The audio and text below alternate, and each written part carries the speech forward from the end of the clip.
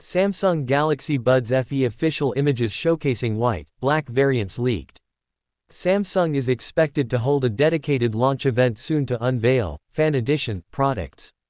These include the Galaxy Tab S9 FE, the Galaxy Tab S9 FE Plus, and the Galaxy Buds FE. It is likely that the Galaxy S23 FE may also debut alongside these devices. Recent reports have revealed a few details about the Galaxy Buds FE, which will be Samsung's most affordable TWS earbuds. A new report, courtesy of WinFuture.de, has leaked the new images of the Galaxy Buds FE. According to the report, the Galaxy Buds FE will be offered in two shades, such as graphite gray and white.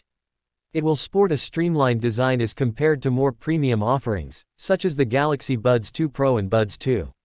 The outer shell of the Galaxy Buds FE earbuds features a clearly marked touch-sensitive area for controlling media playback with simple finger taps. Inside the Galaxy Buds FE, Samsung has integrated a single 12mm audio driver, emphasizing improved bass performance. While information regarding the battery life of the Galaxy Buds FE remains undisclosed, these earphones are powered through standard pogo pins located in a charging case, which can be connected to a power source via a USB-C port. Unfortunately, the report has no information about the other specs of the Buds FE. Since it will be an affordable offering, Samsung may skip some high-end features like ANC on the Buds FE.